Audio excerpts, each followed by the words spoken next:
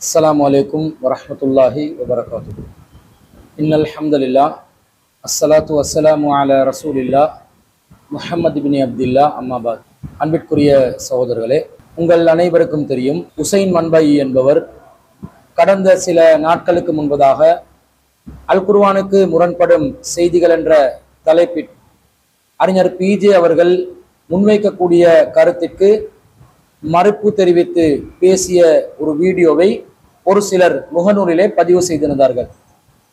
அந்த வீடியோவிலே அவர் குறிப்பிடுகின்ற பல விஷயங்களுக்கு நாங்கள் நமது தரப்பினுடைய பதில்களை வழங்கி வருகிறோம்.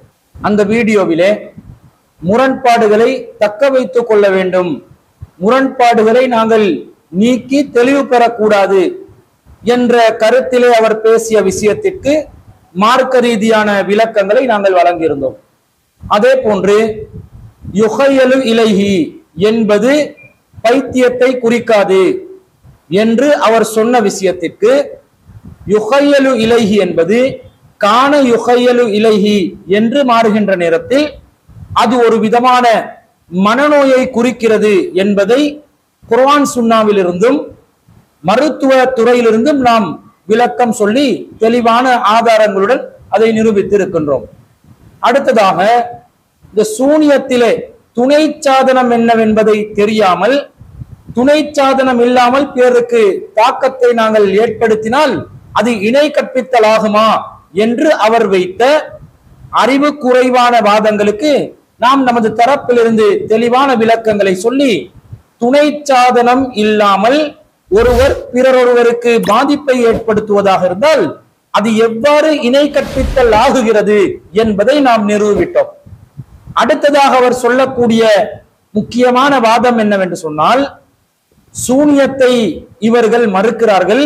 சூனியத்திற்கு தாக்கம் இல்லை என்று சொல்கிறார்கள். ஆனால் தஜ்ஜாலுடைய விஷயத்தை இவங்க ஏற்றுக்கொள்றாங்க. புத்தகம் எல்லாம் வெளியிடுறாங்க. தஜ்ஜாலுடைய விஷயத்தை எந்த அடிப்படையில நீங்க ஏற்றுக்கொள்ளலாம்? எந்த அடிப்படையில நீங்க அதை சரி காண்றீங்க? அல்லாஹ் நாடினால் தஜ்ஜால் மூலம் பல அற்புதங்களை நிகழ்த்துகிறானே வானத்திற்கு கட்டளையிட்டு மழையை பொழிய வைக்கின்றானே பூமியை செழிக்க செய்ய வைக்கின்றானே இது போன்ற விஷயங்கள் எல்லாம் அல்லாஹ் மூமின்களுக்கு ஒரு சோதனையாக அல்லாஹ்வுடைய நாட்டத்தின் அடிப்படையிலே ஏற்படுத்துகிறானே. அதை ஏற்றுக்கொண்ட நீங்க எப்படி சூனியத்தை மறுக்கிறீங்க? சூனியத்திற்கு அல்லாஹ் நாடினால் தாக்கம் ஏற்படும் என்பதை எவ்வாறு நீங்கள் மறுக்க முடியும்? என்ற ஒரு பிரம்மாண்டமான வாதத்தை முன்வைக்கிறாரு. அப்ப நாம என்ன சொல்கிறோம் என்று சொன்னால் சூனியத்தினால் அல்லாஹ் நாடினால் பாதிப்பு ஏற்படும். இது எந்த அடிப்படையில்? அல்லாஹ் தஜ்ஜாலுக்கு அல்லாஹ் நாடினால். அப்ப என்ன சொல்றான்? சூனியக்காரன் அல்லாவா வச்சுட்டீங்களா? சூனியக்காரன் அல்லா இடத்துல கொண்டு போய் வச்சுட்டீங்களா? எதுவுமே இல்லாமல் தஜ்ஜாலினுடைய விஷயம் எங்கே கொண்டு போய் வைக்க வேண்டும்? ஆனால் தஜ்ஜாலினுடைய விஷயத்தில் இவங்க புத்தகம் போட்டிருக்கிறாங்க. என்ன போட்டிருக்கிறாங்க? தஜ்ஜால். சகிகான அதிசல வருது. அவன் மழை பொழிய வைப்பான். தஜ்ஜால் விவசாயத்தை செழிக்க வைப்பான். தஜ்ஜால் மனிதர்களை கொன்று உயிர்ப்பிக்க வைப்பான். என்னடா சொல்ற? இது சூனியத்திற்கு முரண்படுதா? நீ சூனியத்தை எப்படி அணுகினாயோ நீ நியாயமானவனாக இருந்தால் அதே அனுபவத்தை தான் இங்க நீ காமிக்கணும். இல்ல அல்லாஹ் ஒரு மட்டும்தான் ஆற்றல் அவனுக்கு கொடுப்பான். அப்ப அல்லாஹ்வுடைய ஆற்றலை ஒரு முறை மற்றவர்களுக்கு அல்லாஹ் பகிர்ந்து கொள்வானா? அப்ப அல்லாஹ் தனதா எப்படி நம்புகிறோம்? அல்லாஹுவின் துணையோடி அல்லாஹுதான் அதை செய்கிறான். இந்த தஜ்ஜாலுக்கு பின்னால் யார் வழிகெடுகிறார்கள் என்பதை சோதிப்பதற்காக வேண்டி அல்லாஹ் இந்த சோதனையை வைக்கிறான். அதைத்தான் அல்லாஹ் சொல்கிறான். இந்த சூனியக்காரனுக்கு ஏன் அல்லாஹ் தான் செய்கிறான்? இந்த விஷயத்துல உசைன் மண்டை என்பவருக்கும் இவரை சார்ந்த சலஃபுகளுக்கும் நிறைய குழப்பம் இருக்கிறது நமக்கு தெரியும். சலஃபுகளுக்கு இது சம்பந்தமாக தெளிவான ஒரு நிலைப்பாடு இல்லை. தெளிவான ஒரு விளக்கமும் இல்லை. தஜ்ஜாலுக்கு அல்லாஹு தாலா ஆற்றலை கொடுக்கிறான் என்று சொன்னா சூனியக்காரர்களுக்கு அல்ல ஆற்றலை கொடுக்க மாட்டானா என்பதுதான் இவர்களுடைய வாதத்தின் அடிப்படையாக இருக்கிறது.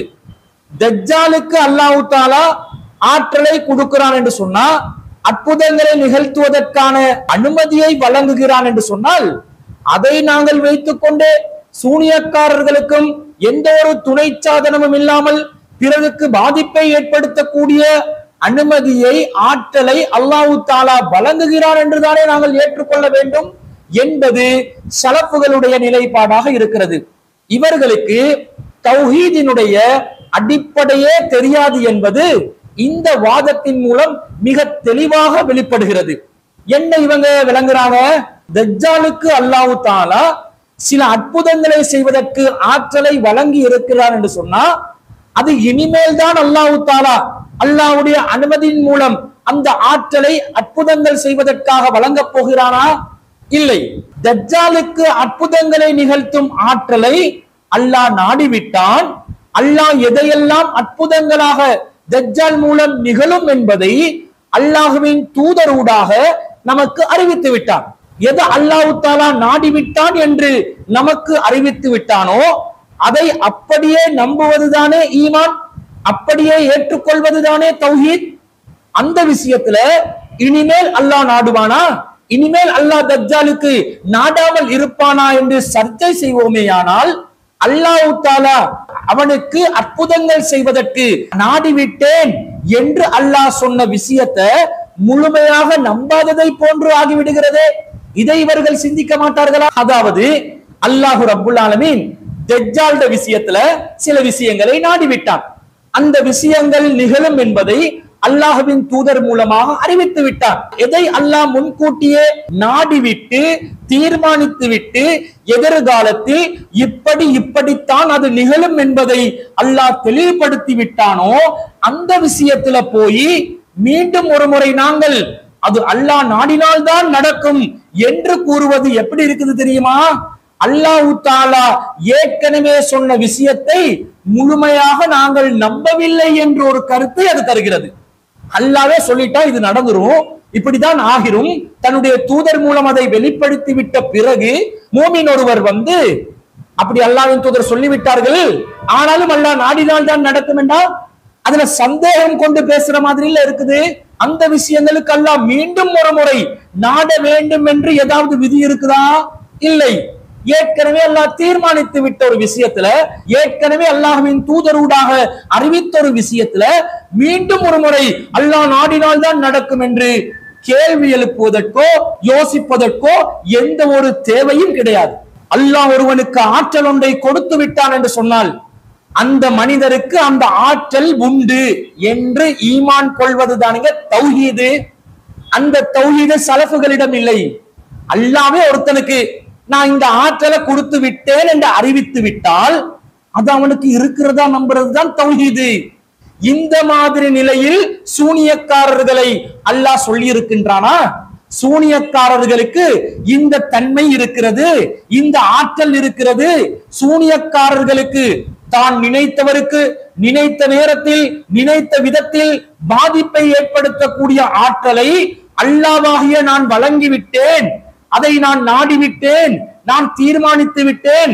சூனியக்காரனை தான் நினைத்தவர்களுக்கெல்லாம் துணை சாதனம் இல்லாமல் பாதிப்பு ஏற்படுத்தக்கூடிய ஆற்றல் மிக்கவர்களாக நான் டிசைன் செய்து விட்டேன் என்று சொல்லி அல்லாஹு தாலா திருக்குருவானிலேயோ அல்லாஹின் தூதர் ஸல்லல்லாஹு அலைஹி அவர்கள் நபி மொழிகளிலேயோ எங்கேயாவது ஒரு இடத்துல சொல்லி இருக்கிறாங்களா இல்லை. அப்ப எப்படி சூனியக்காரனை கொண்டு போய் நீங்க தஜ்ஜாலோட ஒப்பிட்டு பேசுவீங்க?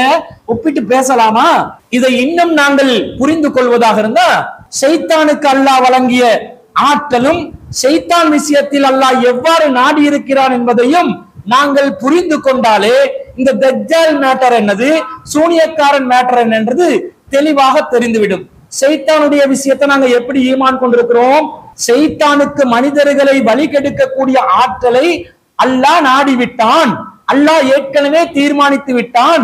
முன்கூட்டியே அல்லாஹ் தாலா செய்தானை எவ்வாறு டிசைன் பண்ணியிருக்கிறான் என்று சொன்னா மனிதர்களுடைய நாடி நரம்புகள் எல்லாம் ஊடுருவி மனிதனுடைய உள்ளங்களில் எல்லாம் ஊடுருவி தீய எண்ணங்களை ஏற்படுத்தி மனிதர்களை வழிகெடுக்கக்கூடிய ஆற்றல் மிக்கவனாக செய்தானுக்கு அல்லாஹ் நாடிவிட்டான் இதை திருக்குருவான்ல அல்லாஹ் சொல்லும் பொழுது பதினைந்தாவது அத்தியாயத்துல முப்பத்தி எட்டாவது வசனத்தில் அல்லாஹ் குறிப்பிடுகிறான். கால ரப்பி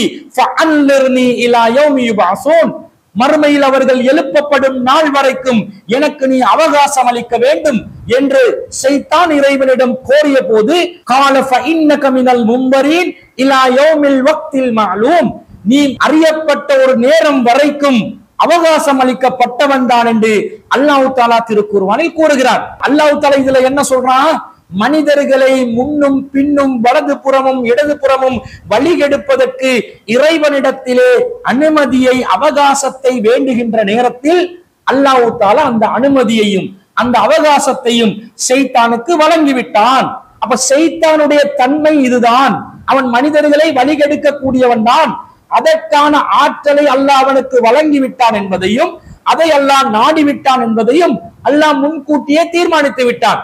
இதை நபிகள் நாயகம் ஸல்லல்லாஹு அலைஹி அவர்கள் கூறுகிறார்கள் இன்ன ஷைத்தான் ஆதம மனிதர்களுடைய நாடி நரம்புகளில் எல்லாம் ஓடிக்கொண்டிருக்கின்றான் என்று ரசூல் ஸல்லல்லாஹு அலைஹி அவங்க சொல்லி இருக்கிறாங்க அப்ப சைத்தானுக்கு இந்த ஆற்றலை அல்லாஹ் கொடுத்து விட்டான். கொடுத்து விட்டான் என்றா? இனிமேல் அல்லாஹ் நாடினால் தான் ஷைத்தான் மனிதர்களை வழிக்கெடுப்பான் என்று யாராவது சொன்னா இது அல்லாஹ் சொன்ன குர்ஆன் வசனங்களையும் நபிகள் நாயகம் சொன்ன இந்த ஹதீஸுகளையும் சரியாக புரிந்து கொண்டதாக ஆகிவிடுமா? அல்லாஹ் தாலா என்ன சொல்லிட்டான்? ஷைத்தான் வழிகெடுத்து விடுவான். அந்த ஆற்றலை அவனுக்கு கொடுத்து நான் அதை நாடி விட்டேன் அவனை நான் அந்த லெவலில் தான் டிசைன் பண்ணி வச்சிருக்கிறேன் என்றெல்லாம் சொன்ன பிறகு இனிமேல் தான் அல்லாஹ் நாடினால் சைத்தான் வழிகெடுப்பான் அல்லாஹ் நாடாவிட்டால் சைத்தான் வழிகெடுக்க மாட்டான் என்று சொன்னா நீங்க இந்த குருவான் வசனத்தை சரியா ஏற்றுக்கொள்ளலன்னு அர்த்தம். அல்லாஹ்வுடைய வேதத்தை சரியா புரியலன்னு அர்த்தம். ரசூல் அதுக்கு விளக்கமா சொன்னது ஹதீஸ நீங்க சரியா விளங்கலன்னு அர்த்தம். அப்ப அல்லாஹு தாலா ஒருவனுக்கு ஒரு விஷயத்தை நாடிட்டானண்டா ஆற்றலை கொடுத்துட்டானண்டா அல்லாஹ் குருவான் மூலமாகவோ இறை தூதர் மூலமாகவோ நமக்கு அறிவித்து விட்டானண்டா அது அதே போலதான் நடக்கும். அதற்கு மீண்டும் ஒரு முறை அல்லாஹ் நாட வேண்டிய அவசியம் இல்லை என்று வருகின்ற நேரத்தில் தஜ்ஜாலையும் செய்தானையும் உதாரணம் காட்டி சூனியக்காரனுக்கு அல்லாஹ் இனி நாடினால் ஆற்றல் கொடுப்பான் என்ற மாதிரி ஒப்பிட்டு பேசுறீங்களே இது எவ்வளவு பெரிய ஒரு முரண்பாடா இருக்குது? சூனியக்காரன் எந்த ஒரு துணை சாதனம் இல்லாமல் பிற மனிதர்களுக்கு பாதிப்பை ஏற்படுத்தும் ஆற்றல் வழங்கப்பட்டவன் என்பதற்கு ஒரு சிங்கிள் குர்வான் வசனத்தை உங்களுக்கு ஆதாரமா காட்ட முடியுமா? ஒரே ஒரு ஹதீஸையாவது உங்களுக்கு ஆதாரமா காட்ட முடியுமா? எந்த ஒரு ஆதாரமும் இல்ல. அப்படி என்ன விளங்குது? சூனியக்காரனுக்கு அல்லாஹ் இந்த ஆற்றலை கொடுத்ததற்கு எந்த ஒரு ஆதாரமும் இல்ல. அப்ப சூனியக்காரன் அப்படி டிசைன் பண்ணப்பட்ட ஒருவன் இல்ல. ஏற்கனவே சூனியக்காரனுக்கு அல்லாஹ் தாலா இன்னென்ன ஆற்றல்களை வழங்கி விட்டான் என்பதை அல்லாஹ் அறிவித்திருந்தால் அல்லாஹ்வின் தூதர் ஸல்லல்லாஹு அலைஹி வஸல்லம் அவர்கள் அறிவித்திருந்தால் நீங்கள் தஜ்ஜாலை உதாரணம் காட்டலாம். அப்படி சூனியக்காரனுக்கு அல்லாவும் அல்லாவுடைய தூதரும் அறிவித்திருக்கிறார்களா?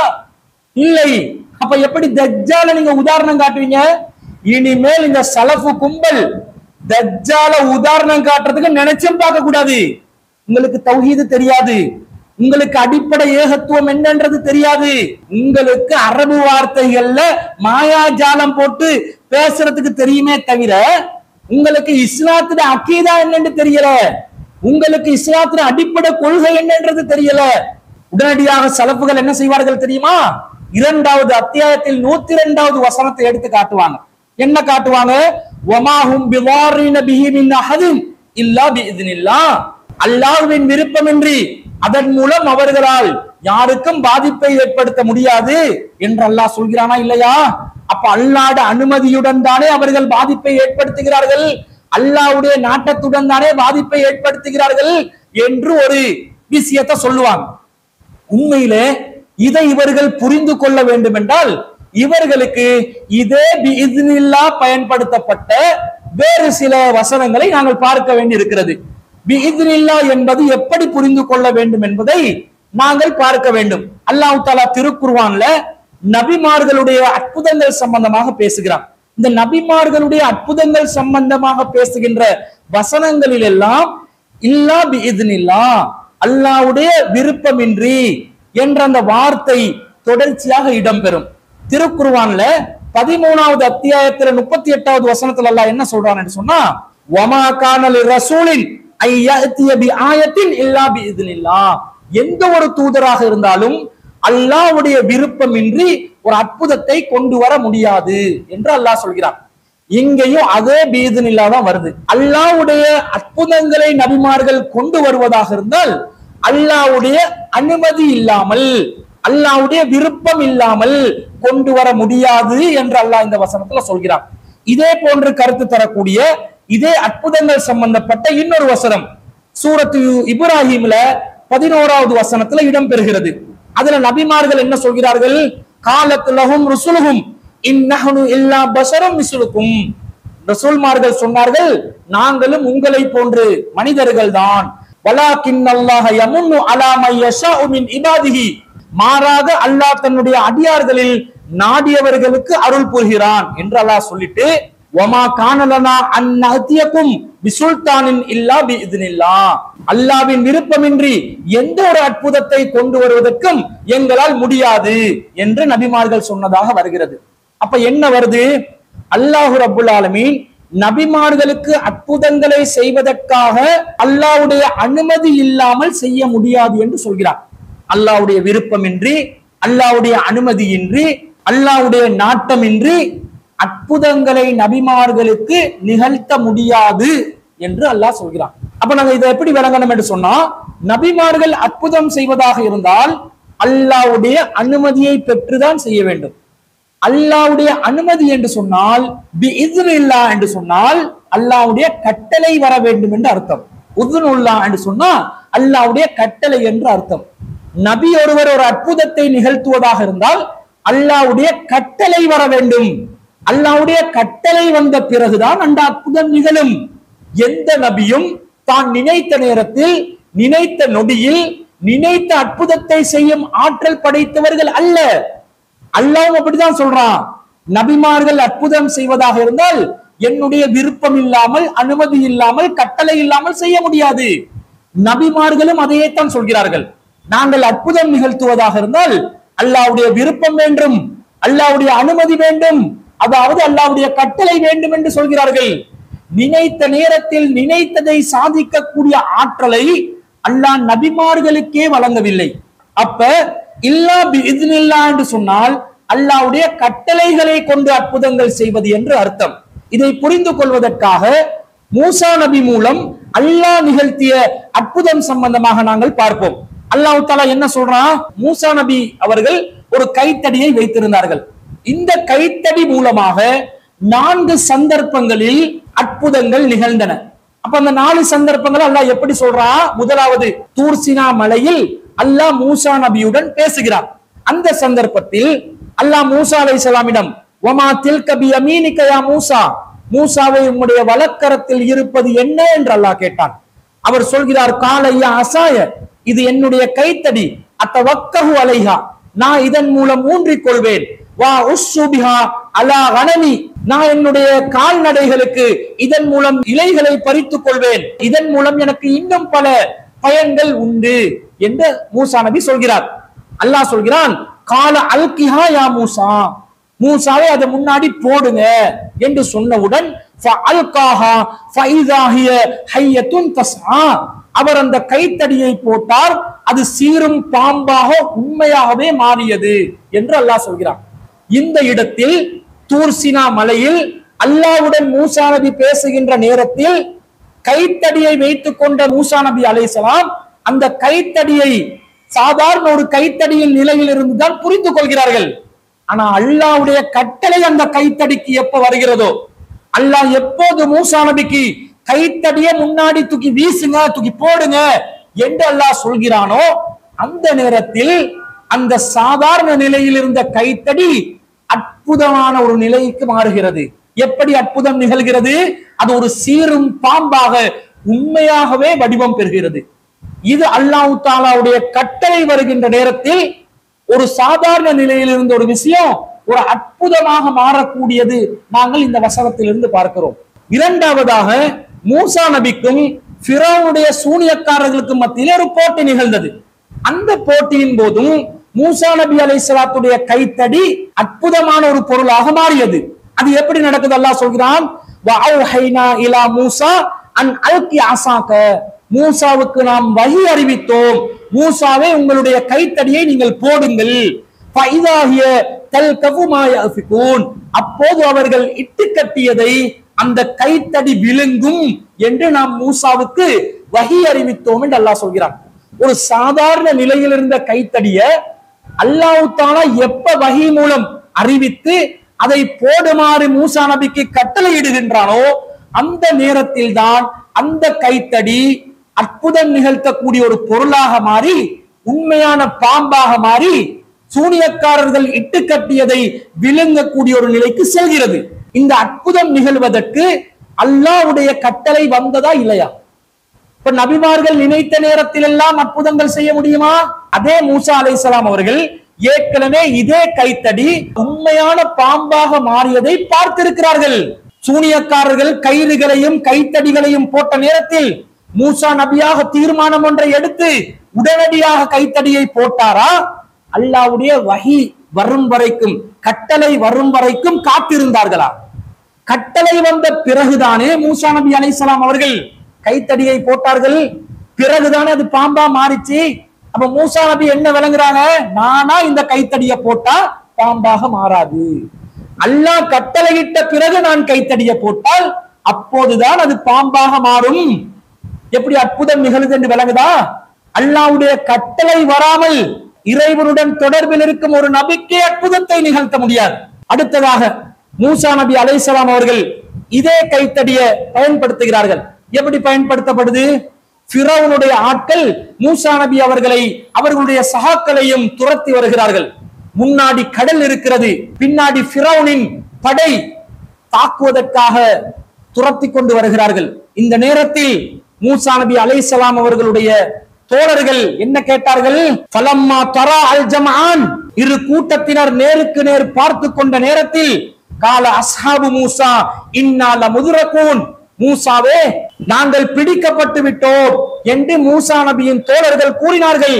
கால கல்லா இன்ன மஹிய ரப்பி சயஹ்தீன். அவ்வாறு இல்லை என்னுடன் என் இறைவன் இருக்கின்றான் அவன் எனக்கு ஒரு வழி காட்டுவான் என்று மூசா நபி அவர்கள் சொன்னார்கள். அவன் மூசா நபியிட கைத்தடி இருக்குது. முன்னாடி கடல் பின்னாடி ஃபிரௌனின் படை. தன்னுடைய தோழர்கள் வேற உடனடியாக ஏதாவது பண்ணுங்க நாங்க மாட்டிக்கொண்டோம் என்று சொல்லும் பொழுது மூசா நபி காத்து கொண்டிருக்கிறார்கள். ஏன் காத்து கொண்டிருக்கிறாங்க? அல்லாஹ் ஒரு வழி காட்டட்டும். என்ன வழி காட்டுவான் என்றது தெரியாது. அப்போது அல்லாஹ் சொல்கிறான் அப்போது நாம் மூசாவுக்கு அறிவித்தோம் மூசாவே உம்முடைய கைத்தடியால் கடலுக்கு அடிப்பீராக. கடலுக்கு அடிச்ச உடனே அலீம். அது இரண்டாக பிளந்தது. ஒவ்வொரு பிளவும் பெரும் மலை போன்று இருந்தது என்று அல்லாஹ் தாலா குர்வான்ல சொல்றான். இப்ப என்ன நடக்குது? மூசா நபி கைத்தடியை வைத்திருந்தார்கள். இரண்டு சந்தர்ப்பங்களில் இந்த கைத்தடி அற்புதம் நிகழ்த்தி இருந்ததை கண்கூடாக பார்த்த மூசா நபி அவர்கள் தன்னை தற்காத்துக் கொள்வதற்கும் தன்னுடைய தோழர்களை தற்காத்துக் கொள்வதற்கும் இந்த கைத்தடியை பயன்படுத்தி கடல்ல அடிச்சாரா? அல்லாட வகி வரும் வரைக்கும் காத்திருந்தாரா? கடல் பிளந்த ஒரு பிரம்மாண்டமான அற்புதம். நபிமார்களுடைய வரலாற்றில் நிகழ்ந்த மிகப்பெரிய ஒரு அற்புதம். அந்த அற்புதத்திற்கு அல்லாஹ்வுடைய கட்டளை வர வேண்டும். அதுவரைக்கும் ஒரு நபி காத்திருக்க வேண்டும். இதுதான் அற்புதங்களுடைய நிலை. இதே கைத்தடி அடுத்ததாக பயன்படுத்தப்படுகிறது. எப்படி? மூசா நபி அலைசலாம் அவர்களுடைய சமுதாயத்துடன் கடல் கடக்க செய்து அவர்கள் ஒரு தேசம் இல்லாமல் நாடோடிகளாக அலைகிறார்கள். அந்த நேரத்தில் தாகத்துக்கு தண்ணீர் தேவைப்படுகிறது. மூசா நபியிடம் வந்து அவர்கள் கேட்கிறார்கள் வைதிஸ் தஸ்கா மூசா மூசா நபி அவர்கள் உடனடியாக அல்லாவிடத்தில் தன்னுடைய சமுதாயத்திற்காக தண்ணீர் கேட்கிறார்கள். அந்த நேரத்தில் அல்லாஹ் சொல்கிறான் ஹஜர். நாம் சொன்னோம் மூசாவே உமது கைத்தடியால் அந்த பாறைக்கு அடிப்பீராக. என்று ஒரு பாறையை காட்டி கைத்தடியால் அடிக்குமாறு அல்லாஹ் சொல்கிறான். அதன் மூலம் பனிரெண்டு நீருற்றுகள் பீரிட்டன என்று அல்லாஹ் தாலா சொல்கிறான். அப்ப அந்த இடத்துல ஒரு பாறையை பிளந்து தண்ணீரை வரவழைப்பதற்கு மூசா நபி அலைஹிஸ்ஸலாத்துடைய கைத்தடி பயன்படுத்தப்படுகிறது. அவராக பயன்படுத்தினாரா? அல்லாஹ்வுடைய கட்டளை வரும் வரைக்கும் காத்திருந்தாரா? அல்லாவிடம் தண்ணீருக்காக வேண்டி அல்லாஹ்வுடைய கட்டளை வந்த பிறகுதானே பாறைக்கு அடித்தார். மூசா நபியாக அந்த பாறைக்கு அடித்திருந்தால் தண்ணீர் பீரிட்டு வந்திருக்குமா? வந்திருக்காது. அப்ப ஒரு அற்புதம் என்றால் எப்படி புரியணும்? நபிமார்கள் அற்புதங்களை அல்லாஹ்வுடைய அனுமதியின்றி கொண்டு வர மாட்டார்கள். அல்லாஹ்வுடைய விருப்பமின்றி கொண்டு வர மாட்டார்கள். அல்லாவுடைய நாட்டமின்றி கொண்டு வர மாட்டார்கள். அல்லாஹ் நாடினால்தான் நபிமார்கள் அற்புதங்களை கொண்டு வர முடியும் என்று சொன்னால் அந்த நாட்டம் என்பது என்ன? அல்லாவுடைய கட்டளை. அல்லாவுடைய ஓடர் வரணும். ஓடர் வந்த பிறகுதான் அல்லாவுடன் வகையின் தொடர்பில் இருக்கக்கூடிய ஒரு நபிக்கு அற்புதத்தை நிகழ்த்த முடியும். இப்படித்தானே நபிமார்களுடைய வாழ்க்கையில அற்புதம் நிகழ்ந்தது? இந்த நிலை சூனியக்காரனுக்கு இருக்குதா? சூனியக்காரன் இப்படிதான் அல்லாவினால் வகையை பெற்றுக்கொண்டு சூனியத்தை செய்கின்றானா? வமாஹும் பிகாரி நபிஹி மின் அஹதின் இல்லா பிஇذنில்லாண்டா அல்லாவின் விருப்பம் இல்லாமல் இதன் மூலம் அவர்களால் யாருக்கும் பாதிப்பை ஏற்படுத்த முடியாதுன்னா அல்லாவுடைய கட்டளையை சூனியக்காரர்கள் பெற்றுக்கொண்டு பிற மனிதர்களுக்கு துணை சாதனம் இல்லாமல் பாதிப்பை ஏற்படுத்துகிறார்கள் என்றுதான் சலப்புகள் சொல்ல போகிறீர்களா? அப்ப சூனியக்காரர்களுக்கு வழி வருவதாக சலப்புகள் நம்புகிறீர்களா? எவ்வளவு பெரிய ஒரு வழிகேடாக போயிடும் சூனியக்காரனுக்கு அல்லாவுடைய இடத்தை கொடுக்க வேணாம் என்று சொன்னா சூனியக்காரனுக்கு அல்லாட இடத்தை கொடுத்து நபிமார்களுடைய இடத்தையும் கொடுக்கக்கூடிய நிலைக்கு சலப்புகள் சென்று விட்டீர்களே சூனியக்காரன் பிறருக்கு பாதிப்பை ஏற்படுத்துவதற்கு ஒரு சாதாரண மனிதன் கையாளும் வழிமுறைகளில் அவன் பாதிப்பை ஏற்படுத்துவானா இருந்தா இதெல்லாம் அவசியம் இல்லை ஆனா எப்படி அல்லாஹ் ஒருவனுக்கு பாதிப்பை ஏற்படுத்துவானோ அதே போன்று சூனியக்காரனும் அல்லாவுடைய அனுமதியை பெற்று அல்லாவுடைய கட்டளைகள் மூலம் அந்த பாதிப்பை ஏற்படுத்தி ஒரு அற்புதத்தை நிகழ்த்துகிறான் என்று நீங்கள் நம்புகிறீர்களே? இது எவ்வளவு பெரிய ஒரு இணை கற்பித்தல் எவ்வளவு பெரிய ஒரு வழிகேடு. கடைசியில சூனியக்காரனை நபியாக்கிட்டீங்க. சூனியக்காரனுக்கு ஆற்றல் இல்ல. அல்லாவுடைய இடத்துக்கு கொண்டு போவாதீங்கன்னு சொன்னா ஒரு புறம் அல்லாவுடைய இடத்துக்கு கொண்டு போய் மறுபுறம் என்ன பண்றீங்க? நபிமார்களுடைய இடத்துக்கு கொண்டு போய் சூனியக்காரர்களை வைத்து விட்டீர்கள். இதுதான் இல்லாபி இது இல்லாவா? நபிமார்கள் அற்புதம் நிகழ்த்துவதா இருந்தாலும் அல்லாட கட்டளை வந்த பிறகுதான் நிகழ்த்துவார்கள். என்று வந்த பிறகு சூனியக்காரன் எப்படி அற்புதமான காரியங்களை நிகழ்த்துவான்? எங்கேயோ ஒரு இடத்துல இருந்து எங்கேயோ ஒரு இடத்துல இருக்கக்கூடிய ஒருத்தனுக்கு எந்த தொடர்பும் இல்லாமல் எந்த ஒரு புற சாதனமும் இல்லாமல் அவனுக்கு பாதிப்பை ஏற்படுத்தக்கூடிய ஆற்றலை சூனியக்காரன் பெற்றிருக்கிறான் என்று சொன்னா இதையும் அல்லாஹ் நாடுவான் என்று சொன்னா அல்லாவுடைய கட்டளை அவனுக்கு வரும் என்றால் வகி மூலம் அல்லா அவனுக்கு உதவி செய்வான் என்று நீங்கள் அறிவிப்பீர்களா? இதுதான் சரப்புகளுடைய கொள்கையா? சூனியக்காரனுக்கு வகி வரும். சூனியக்காரனுக்கும் இறை செய்திகள் வரும். எப்படி நபிமார்களுக்கு அல்லாவுடைய கட்டளைகள் மூலம் அற்புதங்களை நிகழ்த்தும் ஆற்றலை அல்லாஹ் கொடுக்கிறானோ அது மாதிரி சூனியக்காரனுக்கும் அல்லாஹ் கொடுக்கிறான் என்று நீங்கள் அறிவிப்பீர்களா? பகிரங்கமாக சூனியக்காரனுக்கு வகி வரும் என்று அறிவிப்பீர்களா? உனக்கு கொள்கை என்னென்று விளங்குதா? உங்களோட கொள்கை எந்த அளவுக்கு உங்களை தடம் புரள செய்து விளங்குதா? அப்ப வமாஹும் பில்வாரீன பிஹி மின் அஹதின் இல்லா பி இல்லா என்றால் இவங்க சொல்ற அர்த்தம் இதுக்கு கிடையாது. சூனியக்காரனுக்கு புறச்சாதனம் இல்லாமல் ஒருவனுக்கு பாதிப்பை ஏற்படுத்துவானாம் அதை அல்லாஹ் நாடுவானாம் என்ற கருத்தில் அல்லாஹ் சொன்னானா? சொல்லல. மாறாக அல்லாஹ் எப்படி சொல்றான்? இது அல்லாஹு தாலா சூனியக்காரனுக்கு இந்த ஆற்றல் வழங்கினதாக அர்த்தம் இல்லை.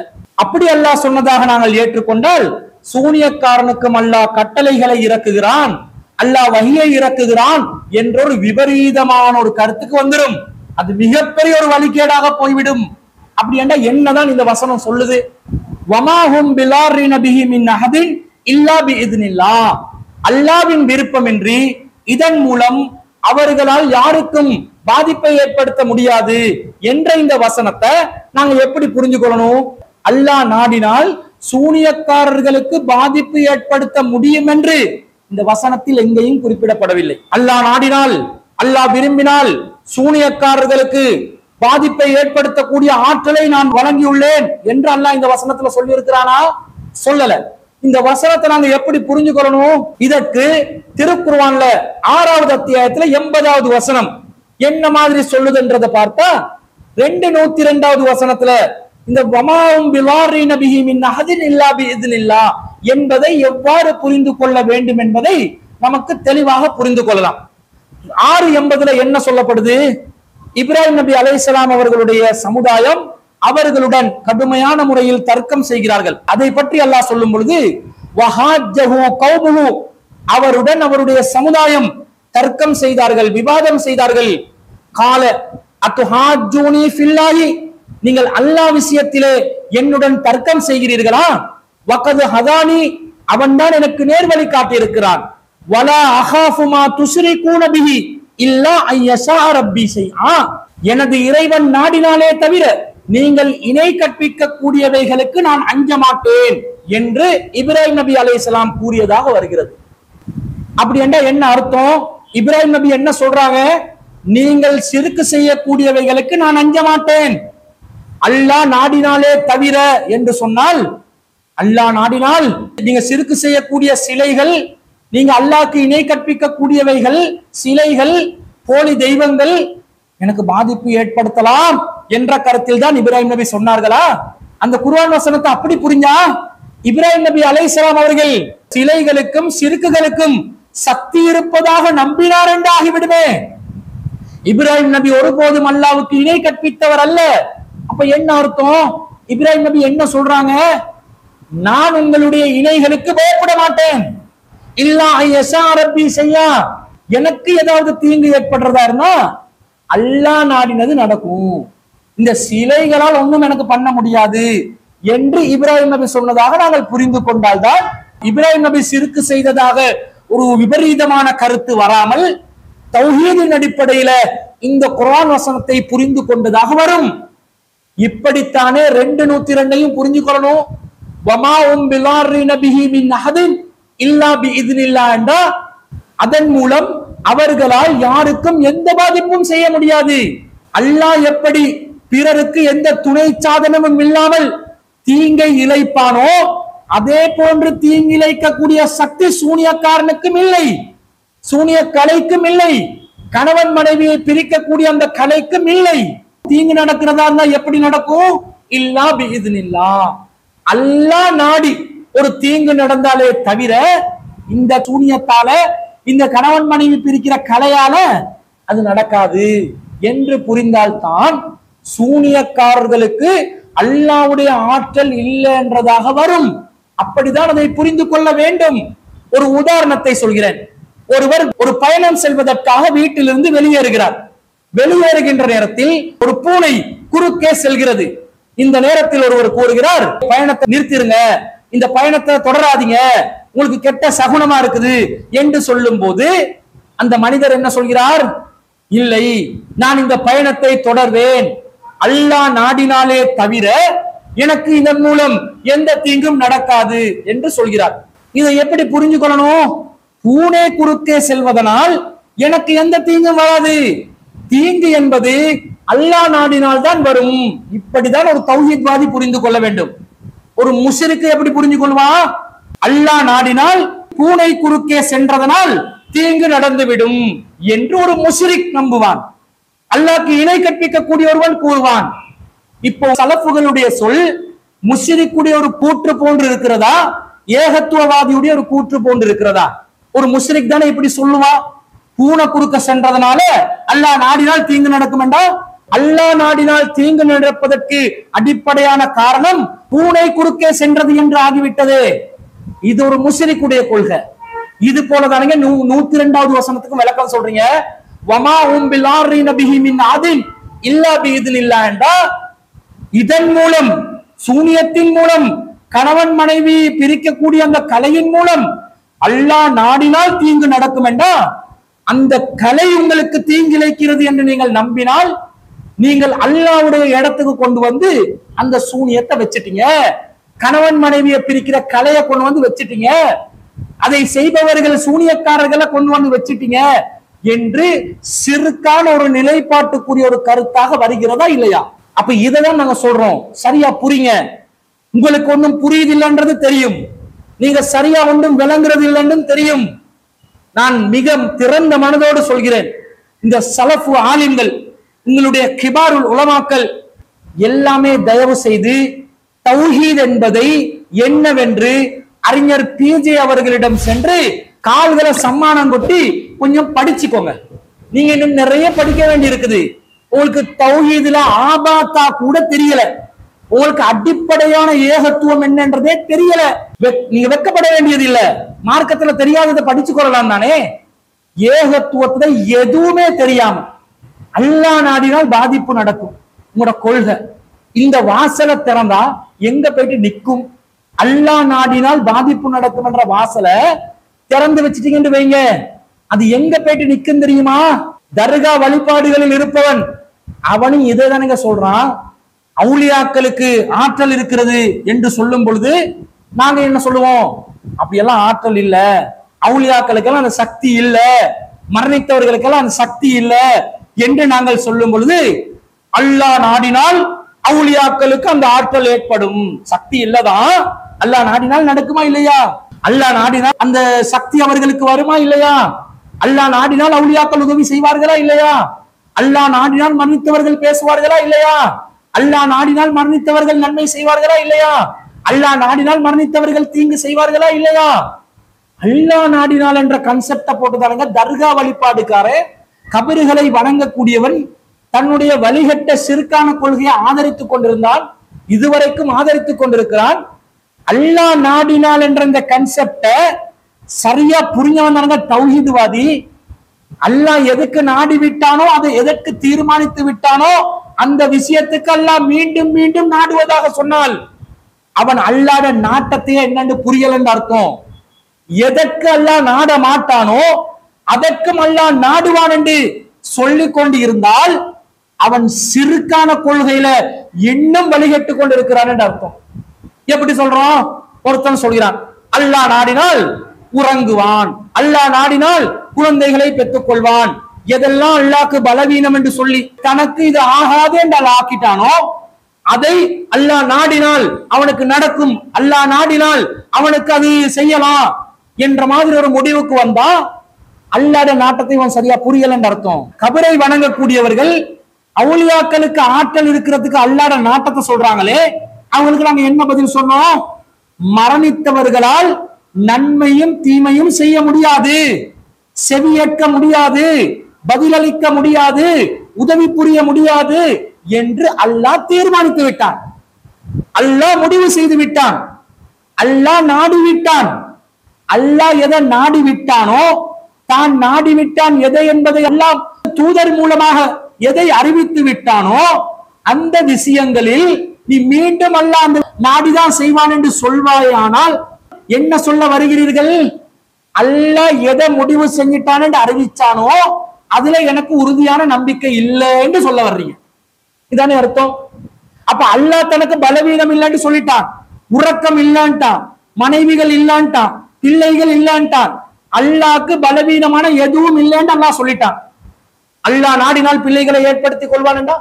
அல்லாஹ் நாடினால் மனைவிமார்களை ஏற்படுத்திக் கொள்வானண்டா? அல்லாஹ் நாடினால் அல்லாஹ் உறக்கத்தை ஏற்படுத்திக் கொள்வானண்டா? இவன் அல்லாஹ் எதை நாடி விட்டான் என்று சொல்லி விட்டானோ அதை ஒழுங்கா ஈமான் கொள்ளலன்னு அர்த்தம். அல்லாஹ் நாடினால் என்ற இந்த வார்த்தையை வைத்து வழிகேட்டின் உச்சத்துக்கே நீங்கள் சென்றுள்ளீர்கள் என்று அர்த்தம். அல்லாஹ் நாடினால் என்றதை சரியா புரிந்து கொள்ளவில்லை என்று அர்த்தம். இதன் மூலம் சலஃபுகள் எந்த அளவுக்கு அக்கீதாவிலே பாலர் வகுப்பில் இருக்கிறார்கள் என்பது தெளிவாக தெரிகிறது. நீங்க அரபுல தான் காரியம் சாதிப்பவர்களாக உங்களை காட்டிக் கொள்வீர்கள். உங்களுக்கு அடிப்படை அறிவு இல்லை. இஸ்லாத்துல அடிப்படை கல்வி இல்லை. இஸ்லாத்துல அடிப்படை அக்கீதா உங்களுக்கு இல்லை. இஸ்லாத்துல அடிப்படை தௌஹீத் உங்களிடமிருந்து சென்று விட்டது. இந்த சூனியக்காரனுக்கு அல்லா நாடினால் ஆற்றல் வரும் என்று நீங்கள் எப்பையெல்லாம் சொல்றீங்களோ உங்களுக்கும் இந்த தௌஹீதுக்கும் சம்பந்தம் இல்லை என்று ஆகிவிட்டது. நீங்கள்லாம் உங்களை தௌஹீத்வாதிகள் எல்லாம் சொல்லிக் கொள்ளவானா வேணாம். இந்த கொள்கையில் நீங்கள் இருப்பீர்கள் என்று சொன்னால் நீங்கள் முஸ்ரிக்குகள் என்பதில் எல்முனை அளவும் சந்தேகம் இல்லை ஏன்? அந்த அளவுக்கு அல்லாஹ்வுடைய அந்த சிபத்துகளை புரிந்து கொள்வதில் மிகவும் பலவீனப்பட்ட ஒரு நிலையில நீங்க இருக்கிறீங்க என்று ஆகிவிடும். அடுத்ததாக இது தொடர்புடைய இன்னொரு செய்தியும் பரவுது. முஜாஹித் என்பவர் என்ன சொல்கிறார்? அல்லாஹ் நாடினாலே தவிர சூனியத்தால பாதிப்பு ஏற்படுத்த முடியாது. அப்படிதான் நாங்க நம்புறோம். அல்லாவே சொல்லிட்டான். அல்லாஹ் நாடினாலே தவிர சூனியத்தால யாருக்கும் பாதிப்பு ஏற்படுத்த முடியாது. ஆனா அல்லாத நாட்டம் ஏற்பட்ட பாதிப்பு நிகழலாம் என்று வசனம் சொல்லுது. இந்த வமாஹும் பிவாரி நபிஹி மின் அஹதின் இல்லா இல்லா என்றதை நீங்க புரிஞ்சு கொள்றதா இருந்தா நீங்க ஐம்பத்தி எட்டாவது அத்தியாயத்துல பத்தாவது வசனத்தை பாருங்க. அதுல அல்லாஹ் என்ன சொல்றான்? இன்னமன் நஜ்வா மினஸ் ஷைத்தான். நஜ்வா என்பது ரகசியம் என்பது செய்தானிடமிருந்து நிகழக்கூடிய ஒன்று. லியஹ்சுனல்லதீன ஆமனு. மூமின்களை கவலைப்படுத்துவதற்காக. வலைச பிவாரியும் செய்யா இல்லா பிஇذنில்லா அல்லாஹ்வின் நாட்டம் இல்லாமல் அவனால் அவர்களுக்கு சிறிதளவும் பாதிப்பை ஏற்படுத்த முடியாது என்று அல்லாஹ் சொல்கிறானே. இந்த இடத்திலும் இந்த ரகசியம் மூலமாக செய்தான் மூமின்களை கவலையடைய செய்கிறான். ரகசியம் என்பது செய்தானிடமிருந்து நிகழக்கூடிய ஒன்று. அதன் மூலம் மூமின்களுக்கு கவலை ஏற்படுகிறது. செய்தான் இந்த ரகசியத்தை ஏற்படுத்தி மூமின்களை கவலைப்படுத்த நினைத்தாலும் அல்லாஹ் நாடினாலே தவிர அது நடக்காது. அந்த கவலை மூலம் பாதிப்பு ஏற்படாது என்று அல்லாஹ் சொல்வதிலிருந்து அல்லாஹ் நாடினால் இந்த ரகசியத்தின் மூலம் கவலை ஏற்படுத்தலாம் என்று சொல்கிறானா இல்லையா?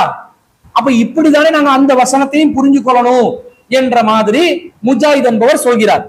இந்த இடத்துக்கு இந்த வாதத்துக்கு நீங்க பதில் சொல்ல முடியுமா? ரெண்டு. மூன்றாவது என்ன ரெண்டாவது வாதத்துல என்ன தெரியுமா? இதுல வந்து இறைவன் நாடினாலே தவிர பாதிப்பு ஏற்படுத்த முடியாது என்ற வாசகம் வருது. இந்த வாசகத்தை புரிஞ்சு கொடுத்துக்கு இன்னொரு குருவான வசனம் பாருங்க. சூரா முஜாதுல பத்தாவது வசனம். அல்லாஹு தாலா சொல்றான் இன்னமன் நஜுவா மின ஷைத்தான். ரகசியம் பேசுதல் என்பது ஷைத்தானிடமிருந்து ஏற்படுவது. லியஹ்சுன் அல்லதீன ஆமனு. அதன் மூலம் ஈ மோமின்கள் கவலைப்பட வேண்டும் என்பதற்காக ஷைத்தான் ஏற்படுத்துகிறான். ஷைத்தான் மூமின்கள் கவலைப்பட வேண்டும் என்பதற்காகத்தான் இந்த ரகசியம் பேசுகிற சிஸ்டத்தை ஏற்படுத்துகிறான். ரெண்டு பேர் பேசிக்கின்றதா மூணாவது மூமின் என்ன செய்வான்? கவலைப்படுவான் ரசூல் சல்லா அலுவலம் சொன்னார்கள். அவனுக்கு அது தொந்தரவாய்க்கும் சொன்னார்கள். இதுக்காக வேண்டி தான் ஷைத்தான் இந்த ரகசியத்தை ஏற்படுத்தி இருக்கிறான். அல்லாஹ் தாலா சொல்றான் வலைச பிதார்ரிஹிம் ஷைஆ. ஷைத்தானால் இந்த ரகசியத்தின் மூலம் எந்த பாதிப்பையும் அவர்களுக்கு ஏற்படுத்த முடியாது. இல்லா பி இத்னில்லா அல்லாஹ்வுடைய அனுமதியை கொண்டே தவிர. அப்ப வந்து ரகசியம் கவலை ஏற்படுத்தாதா? ரகசியத்தால பாதிப்பு வராதா? ஏன்னா அல்லாட அனுமதியை கொண்டுதானே பாதிப்பு ஏற்படுத்தலாம் அல்லாஹ் தாலா சொல்றான். அப்படியே நம்ம அதை விளங்குவோம் கவலை ரகசியம் பேசினா கவலை வரும். இறைவன் நாடினால் இறைவன் நாடாம எல்லாருக்குமே அந்த கவலை என்ன செய்ய முடியாது? ஏற்படுத்த முடியாது என்றுதான் விளங்கணும் பள்ளிய தவக்கலில் வால் பள்ளிய தவக்கலில் மூமினோன் தவக்குள் செய்யணும் மூமின்கள் அல்லாஹ் மீது தவக்குள் வைக்கட்டும். அதே மாதிரி தான் இந்த வசனம் இருக்குது. அதை இப்படி புரிஞ்சுக்கொள்ளுங்க இதே மாதிரி புரிஞ்சுக்கொள்றீங்க அப்ப என்ன புரிஞ்சுக்கணும்னு சொன்னால் பாதிப்பை இறைவன் நாடினால் ஏற்படுத்த முடியும். நேரடியா குருவான வசனம் சொல்லுது. இந்த கவலைக்கும் செய்தானுக்கும் எந்த சம்பந்தமும் இல்லை. இந்த வசனத்துல அல்லாஹ் என்ன சொல்றான்? ரகசியம் பேசுவதன் மூலமாக மூமின்களுக்கு கவலை ஏற்படுத்துவதற்கு செய்தான் நினைக்கிறான். இந்த கவலை ஏற்படுத்துறதுக்கும் செய்தானுக்கு எல்லாம் எந்த சம்பந்தமும் இல்லை. கவலை ஏற்படுத்துறது அல்லாஹ் ஏற்படுத்தக்கூடியது. அல்லாஹ் நாடினா ஒருத்தனுக்கு கவலை ஏற்படுத்துவான். அல்லா நாடினால் கவலையை ஏற்படுத்தாம விடுவான்.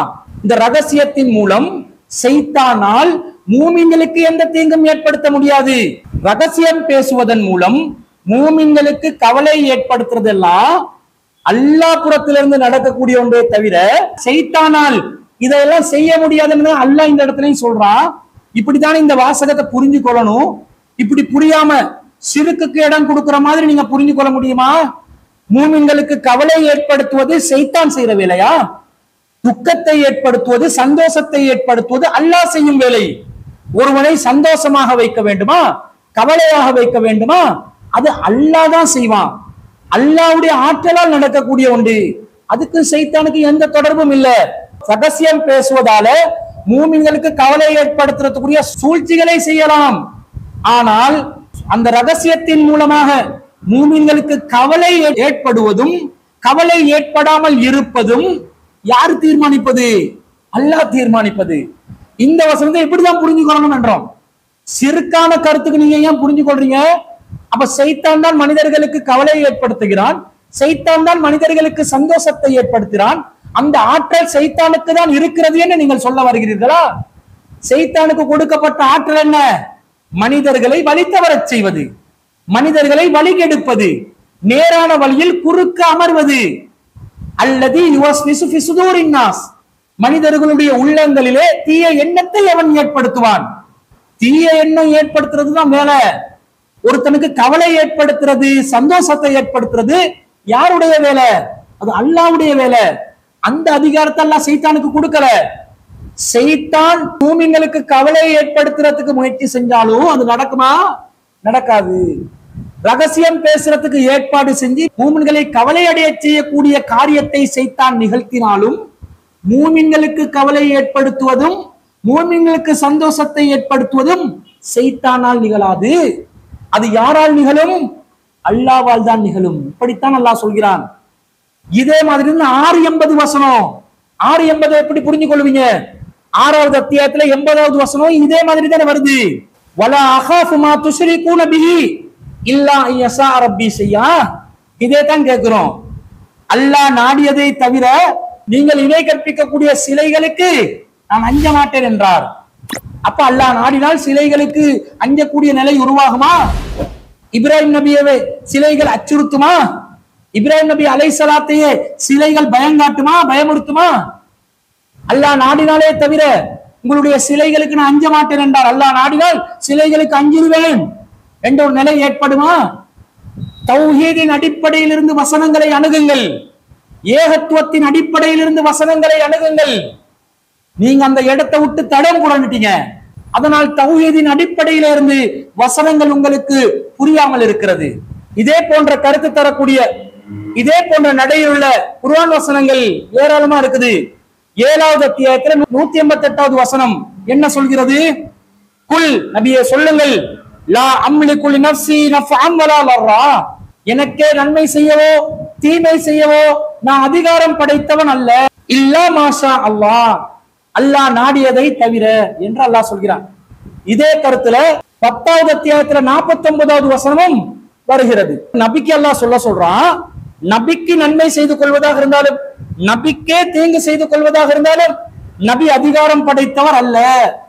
அல்லாஹ் நாடினாலே தவிர என்று அல்லாஹ் சொல்கிறான். அப்ப அல்லாஹ் நாடினால் நபி தானாகவே தனக்கு நன்மை செய்து கொள்வாரா? அல்லாஹ் நாடினால் நபி தானாகவே தனக்கு தீமை செய்து கொள்வாரா? ஒருவருக்கு நன்மை செய்யும் அதிகாரமும் தீங்கிழைக்கும் அதிகாரமும் அல்லாஹ்க்குரியது அல்லாவை தவிர யாராலும் யாருக்கும் நன்மை செய்யவும் முடியாது தீமை செய்யவும் முடியாது.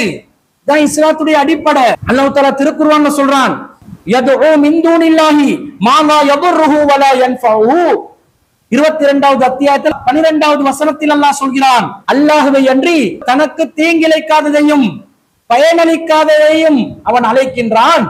அல்லாஹ் அல்லாதவர்களால் ஒருவனுக்கு நன்மையும் செய்ய முடியாது தீமையும் செய்ய முடியாது என்பதை அல்லாஹ் இந்த இடத்தில் குறிப்பிடுகின்றான்.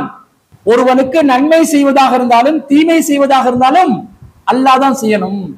அல்லாவை விட்டுட்டு ஒருவனுக்கு நன்மை செய்ய முடியாத தீமை செய்ய முடியாத ஒன்றை அழைப்பதாக இருந்தால் அதை வழிகேடு என்று அல்லாஹ் சொல்கிறான்.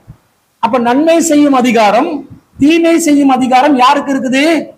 அல்லாஹ்க்கு தான் இருக்குது. நானாக எனக்கு நன்மை செய்து கொள்ள முடியுமா? நானாக எனக்கு தீங்கிழைத்துக் கொள்ள முடியுமா? முடியாது. இதே போன்று அல்லாஹ் ஐந்தாவது அத்தியாயத்தில் எழுபத்தாறாவது வசனத்தில் சொல்கிறான் குல் அத்த அபுதூன மிந்தூனில்லா மாலா எம்லிக்குள்ளக்கும் லர்ரம் வலா உங்களுக்கு நன்மையும் தீமையும் செய்ய முடியாத அல்லாஹ் அல்லாதவைகளை வணங்குகிறீர்களா? அல்லாஹ் கேட்கிறான். எங்களுக்கு அல்லாஹவை தவிர வேறு யாராலும் நன்மையும் தீமையும் செய்ய முடியாது என்று இந்த வசனங்கள் கூறுகின்றனவா இல்லையா? இதுதான் தௌஹீத். இதுதான் அடிப்படை. அப்ப எனக்கு நானே நன்மை செய்து கொள்ள முடியுமா? எனக்கு நானே தீங்கிழைத்துக் கொள்ள முடியுமா? முடியாது. அப்ப நபிகள் நாயகம் ஸல்லல்லாஹு அலைஹி வஸல்லம் அவர்களுக்கு அல்லாஹ் என்ன சொல்கிறான்? அல்லாஹ் நாடினாலே தவிர தனக்கே நன்மையும் தீங்கும் செய்வதற்கு நான் அதிகாரம் படைத்தவன் அல்ல என்று சொல்கிறார்கள். அப்ப அல்லாஹ் நாடினால் நபிகள் நாயகம் தனக்குத்தானே நன்மையும் தீமையும் செய்து கொள்ள அதிகாரம் படைத்தவர்களா? இப்படிதான் அல்லாஹ் நாடினால் என்பதை புரிவீர்களா? முஜாஹித் என்பவர் எந்த அளவுக்கு ஆய்வில்லாத இஸ்லாத்தின் அடிப்படையில் தெளிவில்லாத இஸ்லாமிய அக்கீதாவை புரிந்து கொள்ளாத இஸ்லாமிய அடிப்படையில் பாலர் பாடசாலை நிலையில் இருப்பவர் என்பது இந்த வசனத்துக்கு இவர் கொடுக்கும் விளக்கத்திலிருந்து விளங்குதா இல்லையா? அப்ப ரகசியம் என்பதன் ஊடாக கவலை ஏற்படுத்துவது அல்லா நாடினவனுக்கு அல்லா நடத்துவானே தவிர செய்தான்களெல்லாம் செய்ய முடியாது. இப்படித்தானே புரிஞ்சுக்கொள்ளணும் அக்கீதாவை அக்கீதா அடிப்படையில புரிந்து கொள்ளணும்.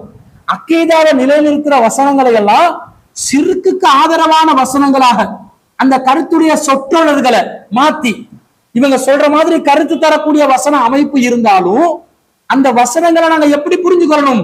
இஸ்லாமிய அடிப்படையில இருந்து புரிஞ்சுக்கொள்ளணும். அந்த அடிப்படையில இருந்து புரிஞ்சு கொள்ளாம சிறுக்குக்கு ஆதரவாகவே இந்த வசனங்களை புரிய செல்வதனாலதான் இவர்களுடைய நிலை சிறுக்கான நிலையாக மாறிவிட்டது. இதனாலதானே இவங்களை முஷிரிக்குகள் என்கிறோம். இதனாலதானே இவங்க அல்லாக்கு இணை கற்பித்தவர்களாக மாறிவிடுகிறார்கள். இதை பார்க்கிறோம். அடுத்ததாக அவர் கேட்கிறார் அல்லாஹ் தால சூனியக்காரனுக்கு நாடவே மாட்டான் என்று சொல்லி இருக்கிறானா அப்படி என்று கேட்கிறார். அல்லது இறைவன் நாட மாட்டான். அப்படி சொல்லுங்க. சூனியத்துக்கு என்னது? இறைவன் நாடவே மாட்டான். ஒரு நாள் என்னது? இதுக்கு நாடவே மாட்டான். அப்படி சொல்லுங்க.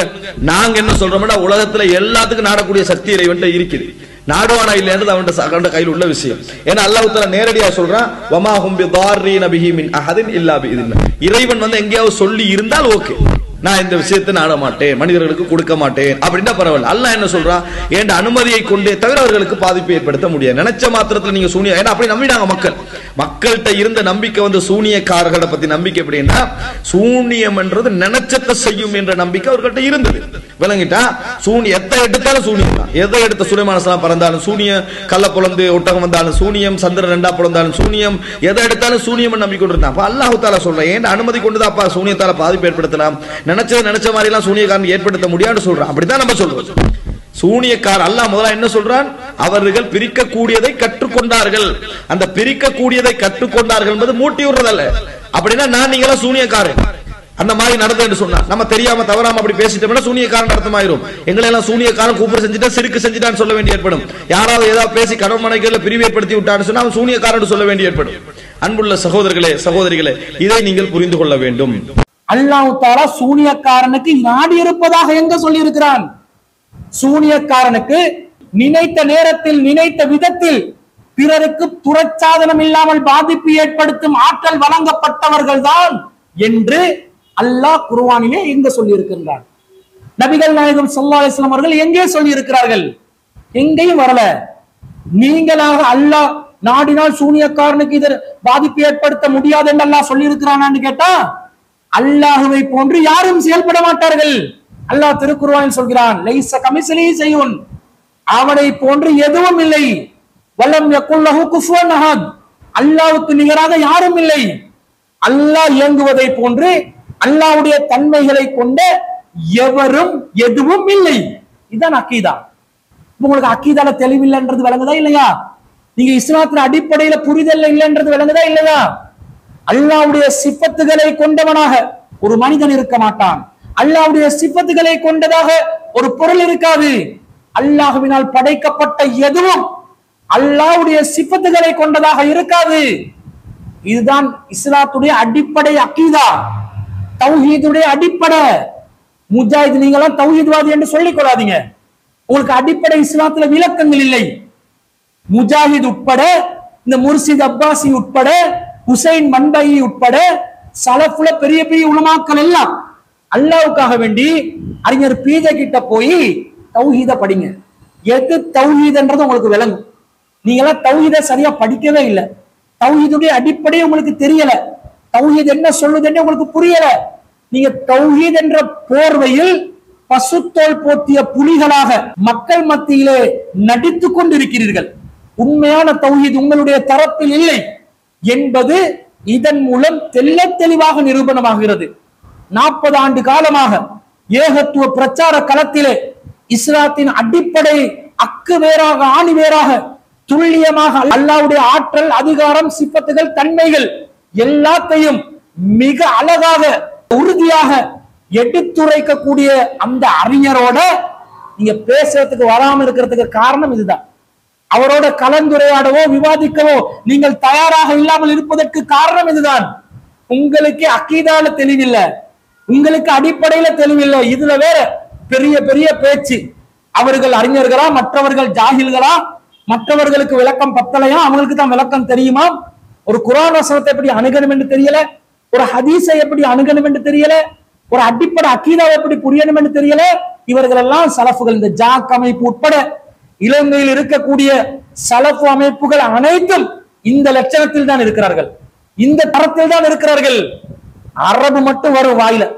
ஹி, என்று பேசுவார்கள். அடிப்படை விஷயம் இல்லை. விஷயம் இல்லாதவர்கள் அடிப்படை விஷயம் இல்லை என்று விளங்குது. எனவே பொதுமக்களாகிய உங்களுக்கு கூறுகிறோம் இவர்களுடைய விஷயத்துல ஏமாந்துராதீங்க அவங்க கொண்ட கொள்கையில உறுதியும் இல்லை. அவர்களிடம் சத்தியமும் இல்லை. அவர்களிடம் தெளிவும் இல்லை. கலந்துரையாடவோ விவாதமோ அழைத்தால் வருகிறார்களும் இல்லை. அப்ப இவர்களுடைய நிலை என்ன? இவர்களை விட இந்த இருபத்தோராம் நூற்றாண்டுல அசத்தியவாதிகள் யாராவது இருக்க முடியுமா? சிந்தித்து பாருங்க கொண்ட கொள்கையில உறுதி இல்லாத அதை நிலைநிறுத்துறதுக்கு தைரியம் இல்லாத அதை எடுத்துரைப்பதற்கு சக்தி இல்லாத அடிப்படை அக்கீதால தெளிவு இல்லாத இது போன்ற உளமாக்களை வைத்துக் கொண்டுதான் உங்களுடைய கொள்கை விஷயங்கள் சட்ட திட்டங்கள் மற்ற அனைத்து விஷயங்களையும் நீங்கள் தீர்மானித்துக் கொண்டிருக்கிறீர்கள். எந்த அளவுக்கு உங்களை முட்டாள்தனமாக வழிநடத்துகிறார்கள் என்பதை இந்த மறுப்பின் மூலமாக உங்களுக்கு தெளிவாக விளங்கிக் கொள்ளலாம் என்பதை கூறிக்கொள்கிறேன். எனவே அன்பிற்குரியவர்களே நாங்கள் சத்தியமான ஒரு கொள்கையை சொல்றோம். அடிப்படையான ஒரு தௌஹீத சொல்றோம். இந்த தௌஹீத நிலைநிறுத்துவதற்கு தயாராகவும் இருக்கிறோம். மாற்று கருத்து கொண்டவர்கள் பிற கருத்தில் இருப்பவர்களை விவாதிக்கவும் அழைக்கிறோம் கலந்துரையாடவும் அழைக்கிறோம் நட்பு ரீதியாகவும் தயார் என்கிறோம். விவாத களத்தினூடாக அழகான முறையில் அந்த விவாதத்தை நடத்துவோம் என்றும் அழைக்கிறோம். எதுக்கும் எதிர்த்தரப்பு தயார் இல்லைன்னா அவர்கள் அசத்தியவாதிகள் என்பது மிக தெளிவாக நிரூபணமாகிவிட்டது. எனவே இந்த சலப்புகளை சார்ந்த நடுநிலையில் இருக்கக்கூடிய மக்கள் உங்களுடைய தலைவர்களுடைய தகுதிகள் லட்சணங்கள் எந்த நிலையில் இருக்கிறது என்பதை புரிந்து கொண்டு உண்மையான சத்தியத்தை நிலைநிறுத்துவதற்காக நம்முடன் கைகோர்த்து கொள்ளுமாறு அன்பாய் அழைப்பு விடுத்துக் கொண்டு என்னுடைய இந்த உரையை நிறைவு செய்து கொள்கிறேன். வாஹிரு தாவானா. அனில் அஹமதுல்லாஹி ரபில் ஆலமி